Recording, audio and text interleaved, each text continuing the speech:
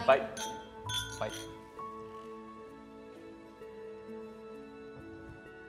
じゃあゆき話しに行こうか。最初にユキに声かけてくれてよっしゃって思った。行ってきます。いってらっしゃい。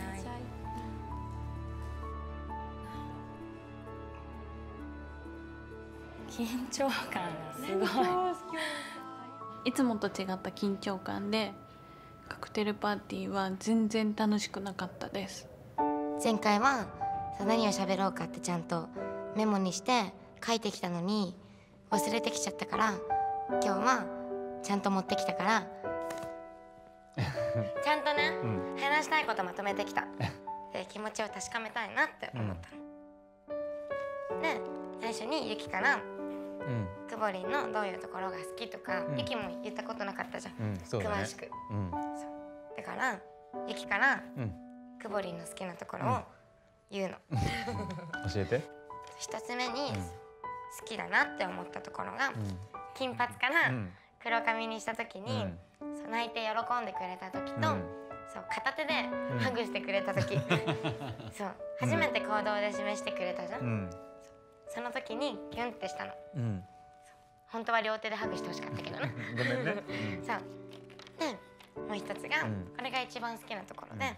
そういつもみんなを楽しませようとさうん。いろんなことを考えてるでしょ、うん。そういう楽しませようってしてくれるうん。優しい気持ちが好きなの、ありがとう。紙に書いたことは全部伝えられました。くぼりもいつも以上に喋ってくれた自分の話を。なんでユキのことを今すごく魅力的だって思ってるかっていうとユキがさ俺の一番好きなところっていうのでさみんなを楽しませようとしてくれるところって言ってくれたでしょ？俺もユキに対してそれと同じことを思っていてユキってまだ二十歳なのにすごい周りのことを見てるしすごく周りのことを気にかけて。なんかユキがいるとその場がすごくなんかパッと明るくなるんだよね。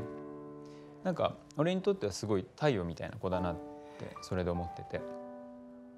でもね他にも俺が今すごいユキのこと好きだなって思っているのって俺のためにすごくイメチェンをしてくれてイメチェンしてくれたその勇気とかもすごい嬉しいしあとはそれで変わってくれた姿っていうのもすごい好き、うん、だし。まあ前のローズセレモニーの時とかってじゃあ誰にローズを渡そうかなって考えた時になんかこのみんなの中からユキがいなくなっちゃうっていうことがそれはすごく怖かったの。なんだか。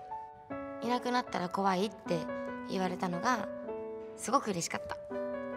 ちゃんと答えになってるかなよかった。これやっちゃった、そうそうやって真剣に答えてくれるのがうん、好き。ちゃんと向き合いたいしなんかそれが今日なんか本当に俺時間を大事にしたいなって大切にしたいなと思ってる。手つないでもいい？緊張ほぐしたいから。そう。うん。悲しくなっちゃう。うん。泣いてる？泣いてる泣いてる